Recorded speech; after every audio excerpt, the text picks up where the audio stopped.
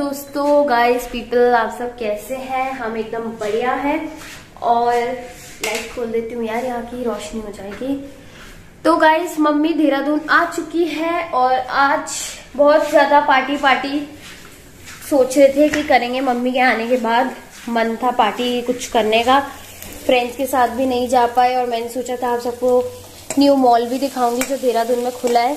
तो वो भी नहीं मैं दिखा पाई गाइस और यहाँ बन रहा है तड़कता फड़कता वाइट सॉस पास्ता और ये अंश आ गया, यहाँ पे अपने नूडल्स लेकर। ये देखो। बहुत बढ़िया। अब खाएगा ये नूडल्स बट मम्मी के लिए मैं बना रही हूँ व्हाइट सॉस पास्ता उनको मेरे हाथ का पास्ता बहुत पसंद है गाइज़ और ये पास्ता बॉईल हो चुका है। मैंने अपनी और उनकी क्वांटिटी के हिसाब से करा। ज़्यादा मैंने इसको बॉईल नहीं करा। तो अब हम बनाते हैं पास्ता सॉस तो गाइस सबसे पहले हम डाल लेंगे इसमें बटर बटर डालने के बाद हम डालेंगे इसके अंदर मैदा। एक स्पून अपने हिसाब से, मैं अंदाजे के हिसाब से डाल रही हूँ। क्योंकि हमारा पास्ता इतना ज़्यादा है नहीं तो मैंने इसको दो जनों के हिसाब से एक स्पून मैदा यूज़ करा है। क्योंकि मम्मी को ज़्यादा मैदा खाना पसंद नहीं है। वाइट वाइट हो जाता है। और इसमें ध्यान देना कि आपका जले ना मैदा। भुनाना है इसको गाइस हल्का हल्का। बस। इतना, इतनी इसकी धीमी आँच रखना अब। तो अब गाइस हम डालेंगे इसके अंदर दूध। और दूध काफ़ी डालना है। क्योंकि ओहो, थोड़ा सा गिर गया। स्पिलेज हो गई गाइस अच्छी तरीके से कर देंगे ताकि कोई गुटलियाँ ना रहे इसके अंदर। ये देखो, अब ये मैदा छूट रहा है कड़छी से अपने आप। और ध्यान देना है गाइस कि कोई गुटली ना रहे। तो थोड़ा सा डालेंगे ब्लैक पेपर थोड़ा और। इसमें ज़्यादा दिख रहा है, ये कैमरा में बट इतना है नहीं गाइस एक टेबल स्पून होगा ये और ओरिगैनो भी एक टेबल स्पून अपने फ्लेवर्स के हिसाब से, और साथ में चिल्ली फ्लेक्स भी गया इसके अंदर। और थोड़ा सा अगर आपको टेस्ट हल्का और अच्छा चाहिए इंडियन स्टाइल जैसा तो इसमें डालो एक टेबल स्पून किचन किंग बस। और अब इसको अच्छे से हम हिलाएँगे इसके द्वारा और बाहर गाड़ियों की आवाज़ आ रही है, उसे इग्नोर करना। ये देखो। तो गाइज़ ये अब बहुत थिक हो गई है और एकदम बढ़िया हो चुकी है।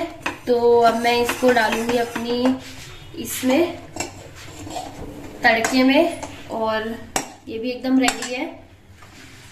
गैस को ऑन करते हैं। चलो आज ये पहली बार ऑन हो गई टाइम से वरना ये बहुत दिक्कत कर रही थी ऑन होने में। इसको एक सेकंड के लिए रखेंगे और इसको बंद कर देंगे हम अपने कहा गया ये? हाँ सॉस वाले गैस को। क्योंकि ये पक चुका है और ज़्यादा पकाएँगे तो चिपक जाएगा और इतना थिक हमें चाहिए नहीं एकदम बढ़िया हो गया है। आज मम्मी खुश हो जाएगी मुझसे एकदम तो ये हो चुका है। अब मैं इसमें डालूँगी हमारा जो पास्ता है, वो। सबसे पहले हम अपना पास्ता डाल लेंगे।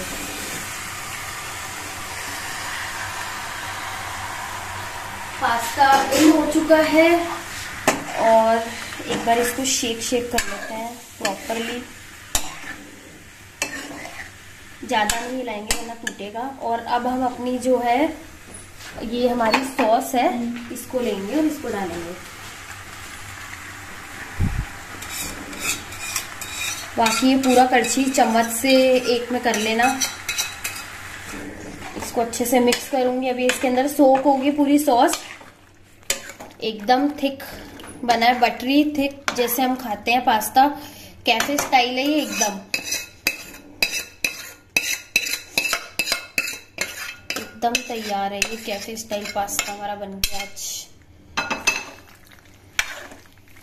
अब इसमें थोड़ा सा मिल्क डालेंगे क्योंकि ये बहुत ज़्यादा थिक नहीं चाहिए। इक्वल हो जाएगा। मिल्क मिल्क फ्रिज में मम्मी रख रही है। मिल्क आ गया है और मिल्क डाल देंगे इसके अंदर। थोड़ा थोड़ा थोड़ा थोड़ा मिल्क बस। और अब इसको लास्ट एक अच्छा सा फ्लेवर देंगे। ये हमारा बिल्कुल रेडी है सॉल्ट वगैरह सब कुछ एकदम टेस्ट कर लेना। मैंने इसमें अपने हिसाब से डाला है।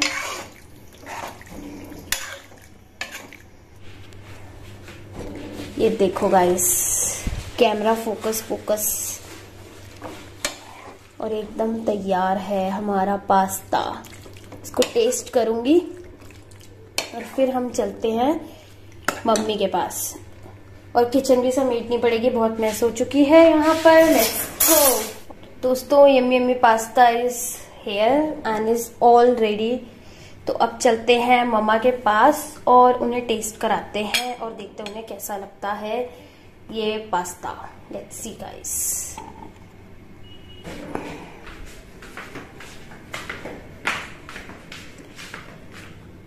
mama where are you ये देखो।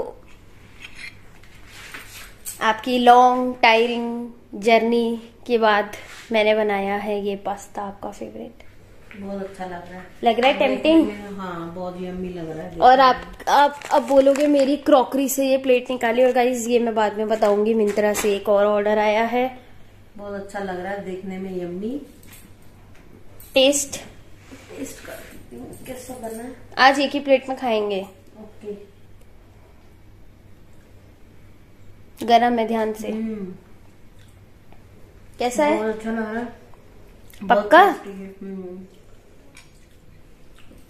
सही है? हम्म स्पाइसी भी है और अच्छा है। जैसे मेरे को चाहिए वैसे है। अब हम तो वही करते आए हैं जो आपको चाहिए बचपन से।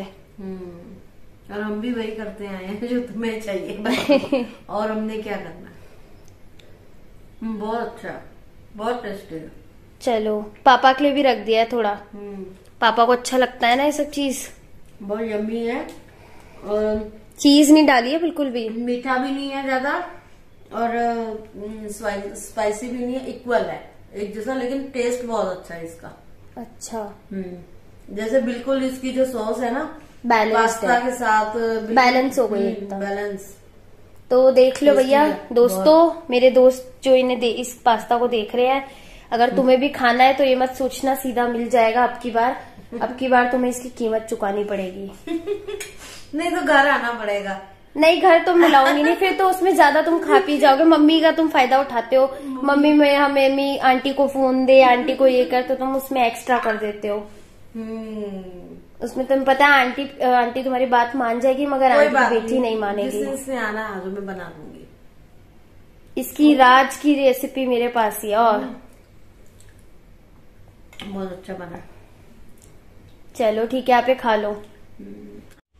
सो गाइस नेक्स्ट डे हो गया है और आज है चाची का बर्थडे और अभी अभी उठी हो तो थोड़ी आवाज़ कम आएगी।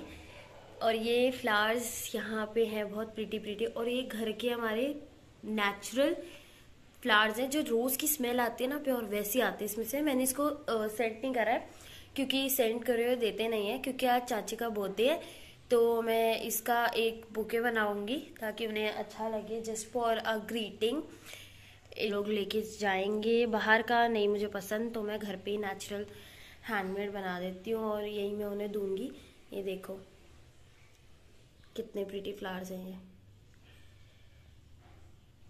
तो अब हम उन्हें यही वाले फ्लावर्स देंगे, इसका बुके बनाती हूँ। तो गाइस मिलते हैं अगले ब्लॉग पे और नेक्स्ट व्लॉग आएगा, जिसमें मैं दिखाऊँगी बर्थडे सेलिब्रेशन हम लोग कहाँ गए थे, पूरा मैं वो ब्लॉग करूँगी तो वो भी देखना मत भूलना। Till then goodbye do like share and subscribe love you all